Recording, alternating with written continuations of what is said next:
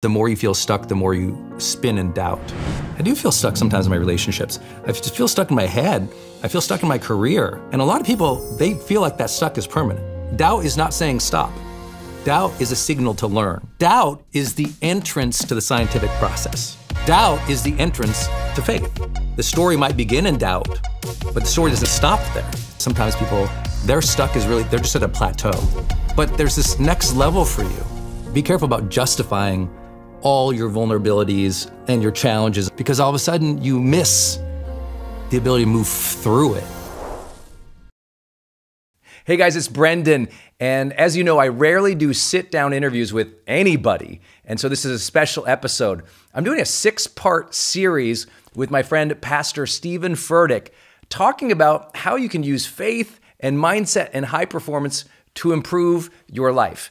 This was a rare sit down interview for either of us in our busy lives. We're both New York Times bestselling authors. We both teach millions of people every single week.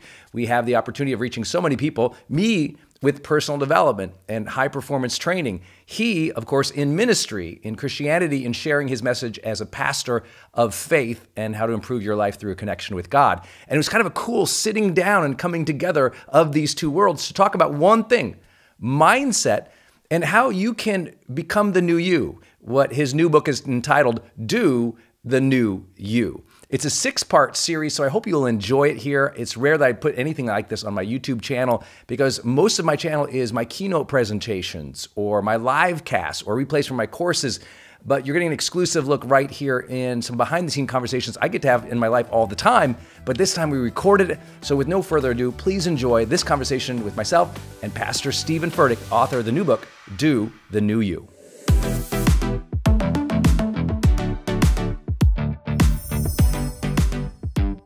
I want you to write the first one down, even if you don't believe it, okay?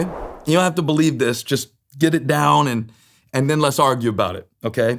Write in the comments, I'm not stuck.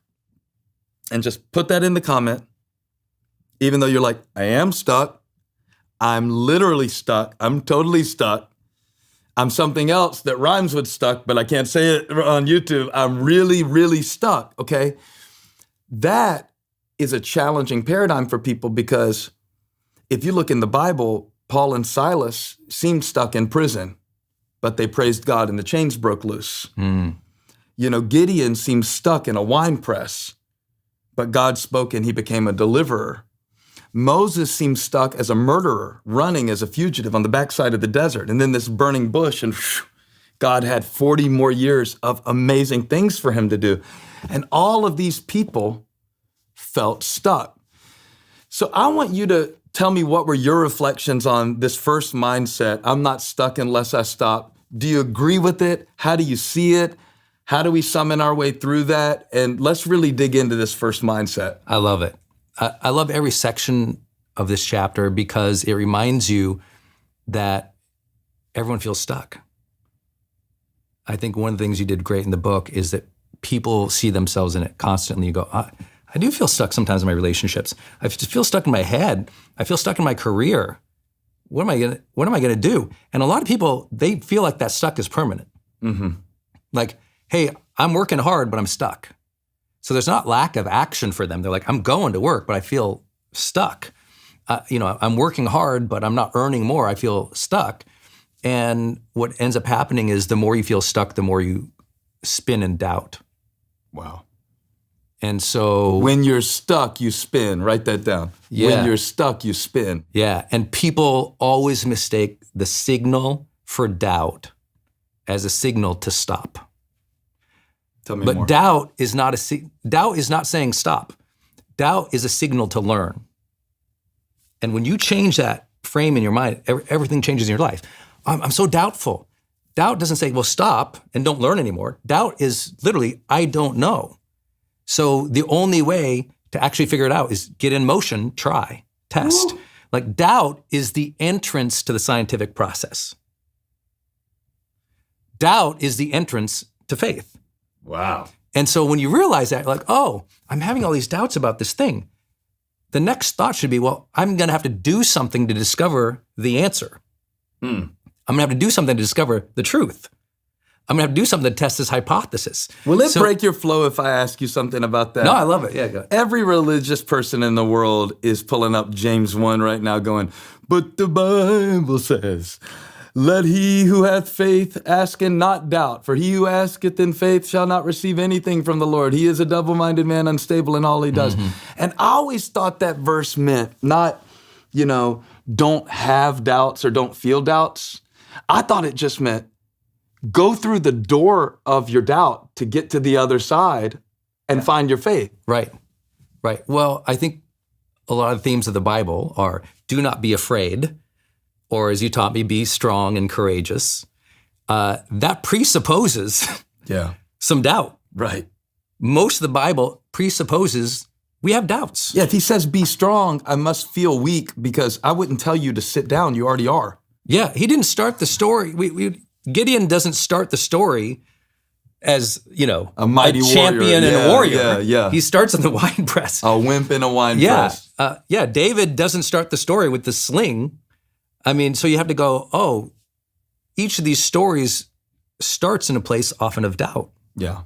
or discouragement, despair, division between people. We have to cycle through that. But the thing is, I always say, well, that's why there's another verse. That's why there's another chapter. It's why there's something more. It's like it might the story might begin in doubt, but the story doesn't stop there. And we have to remember that in our own lives. And so what I loved about this first chapter where he's saying, I'm not stuck unless I stop, is you unlock a lot of reasons that people should not stop and realize that they can change. Uh, I love how you talk about, you know, you can defy your default Yeah. that maybe your default was to stop or to do these bad negative behaviors, but you can work your way through them. You, you can change, you can shift. And I think that's a hopeful message for a lot of people because they really do believe that they're stuck, and stuck is a place of permanence. When what your book is teaching them, stuck was a mindset. Mm-hmm. And you can change your mind so you can change your life. Yeah, you know, when you say stuck, you're probably thinking of all the people that you've coached who basically thought they had gone as far as they could go. Mm-hmm. You know, whether that's in their business or whether they had wrecked their personal life building their business. And part of what you do is to walk into somebody who goes, and I've heard you say this phrase before. I love it. You go, I've tried everything. Right. Right? Yeah, yeah. And you go, Oh, yeah? Everything? Yeah, I've tried everything. And then walk through it because you have an exercise you make people do that I love. Yeah, it's like, well, I tried everything. I'm like, awesome. I'm so excited. And I get really encouraged for them. And they, I say, well, if you tried everything, show me the list. And they go, what do you mean? I said, well, show me the list. You tried everything. I mean, if you tried everything, then you must have kept a list really detailed of all the things you tried because, of course, you'd have to know what's mutually exclusive. You'd have to know what you tried and didn't work, and you'd have to adjust and do it over and again. So show me the list. And most often people will go, well, you know, I tried once or twice. And I tried the same. Well, I asked my boss for a raise on Monday. I asked him on Friday. Asked him the same way every time, all the time. But I've been asking. So you've been asking. Okay, but you haven't been adding new value. So it's like you tried one strategy and you hit it 50 times and you didn't adjust it from another way. You haven't tried everything. You tried what you knew. Mm-hmm. You need to get perspective or approach it in a different way. And I think often too, people when they think of stuck, they think of just negative things. I'm stuck in a bad marriage. A lot of people are, are stuck in a very happy marriage. And what I mean by that is they don't need to leave the marriage, they have to learn to be different. Try a new angle to find the happiness, the fulfillment, or the intimacy in the marriage. So, what I mean by that is sometimes people, they're stuck is really, they're just at a plateau. They're actually successful, they're actually doing well, things are good. And a lot of high performances are going, oh, you're just, you're doing well, you're actually high performing, but there's this next level for you. And I think that I actually got that out of the book as much as I got out of, oh, I'm in despair, I'm troubled, things are bad. What I also took from the book was things are going well, but there's a new level for me when I'm in a more in a greater connection to my faith. Speaking about plateaus, you have this great statement in the book don't argue for your limitations. Yeah. What do you mean by that? Because I think a lot of people, they are stuck, but they're stuck in their own limitation. I heard a motivational speaker say it one time. He said, If you argue for your limitations, you get to keep them. Oof. And that convicted me because I realized how many times I do it. And I don't know if I'm arguing with God like Moses did. God, I can't speak, you know, send somebody else. I don't feel like I'm arguing with God. I feel like I'm just arguing against myself. And I realize what I'm actually agreeing with in that moment is the enemy's view of me. Yes. And I don't mean limitation, hey, you've never picked up a basketball, but you can play in the NBA and you're 54 years old. Uh-huh. That's not the kind of limitation I have in mind. I mean, the kind of limitation that is rooted in a lie where you know God is calling you to be this kind of person and to make this kind of impact, or you sense that He's giving you a glimpse and giving you a step to take. And then you start building the case against yourself and gathering evidence for why there's a deficiency in you. And so the, the quote just blew my mind. If you argue for your limitations, you get to keep them. You live small, you stay in that space. You actually begin to fulfill that prophecy, not the prophecy of God over your life, but your own prophecy. The, you, you start to fulfill the enemy's prophecy over your life that you'll never be this and your dad wasn't that.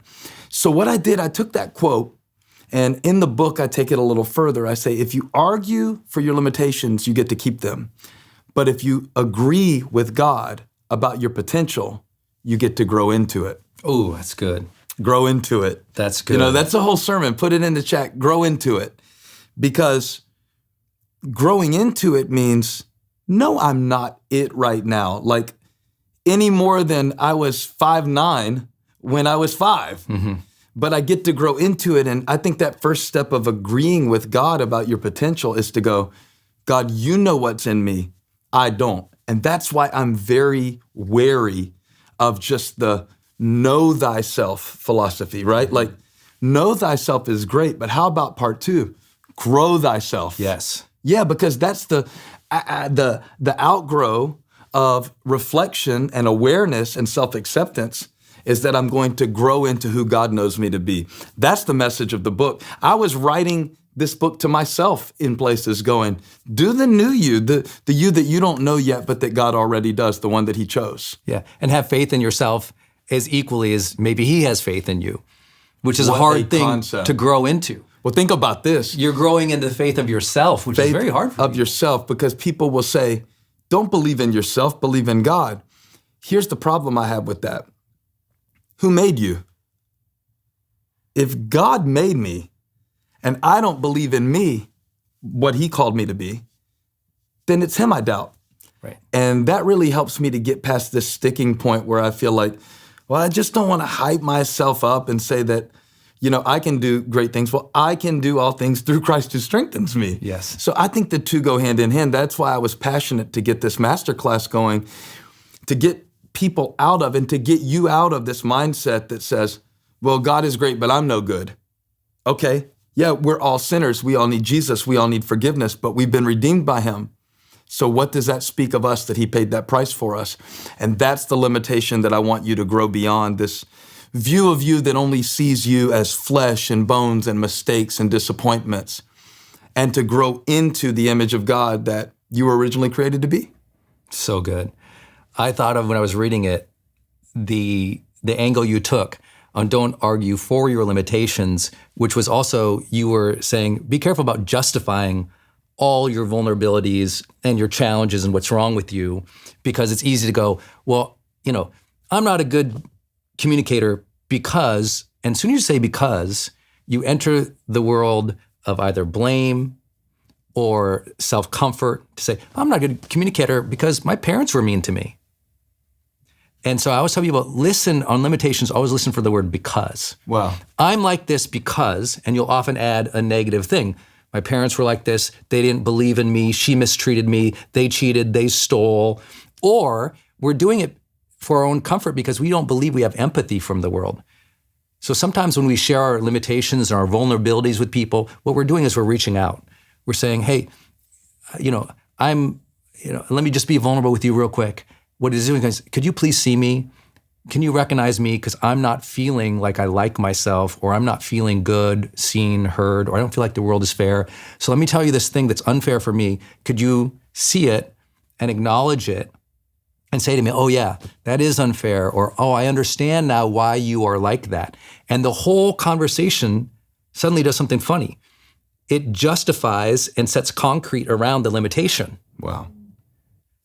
Suddenly, we have verbalized the reason because we've verbalized the reason for the limitation, and now we coalesce around it, and we actually just made it stronger.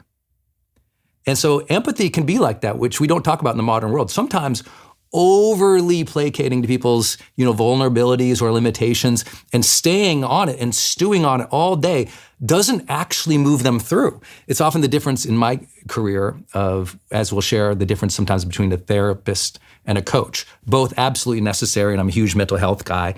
Um, but there is a difference. Sometimes we'll spend more time over here in a therapeutic context and a coach is going to try to move you through that limitation a little bit more aggressively not that either is right, both can be really wrong.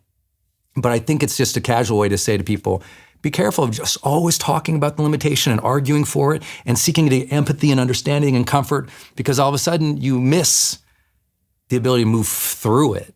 And I thought that the movement through the book that you took people on was so powerful because you didn't let them sit there. Well, thank you for saying that because when I wrote the mindset, I'm not stuck unless I stop, I thought, this could come across really callous to somebody sure. who just found out like I'm never going to be able to have children or I'm never going to be able to fulfill this dream or I'm never going to have my health back like I did before or this person has gone out of my life like I lost my dad and in this area of my life I do feel like there is a limitation well there there is a loss mm-hmm. but I'm trying to get you opened up and anytime I talk about this I can't help but think about Moses and the children of Israel at the Red Sea, right? And they're like, okay, God, help us, help us, help us. And they cried out, and Moses says, Don't worry, stand still, and you will see the salvation of the Lord, right? Next verse, God says, Why are you crying out to me? Tell the Israelites, move on. Mm. So it sounds spiritual. They're crying out to God, the Lord will deliver you, and He will through you moving through it. Right. And I love that about personal development. I love that about having a coach to help us through these things and bring our faith into motion so that we can actually see faith without works is dead and that God promises to bring you through it.